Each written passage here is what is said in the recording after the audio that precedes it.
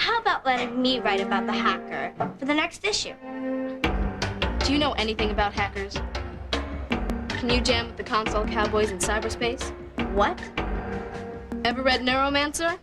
Huh? Ever experienced the new wave? Next wave? Dream wave? Or cyberpunk? I didn't think so. I'll handle the hacker stories. Yeah, I guess you should. Where'd you learn about all this hacker stuff? In there. It's a world where you're judged by what you say and think, not by what you look like. A world where curiosity and imagination equals power. We need more paper. Let's go, people. Work with me here. Work with.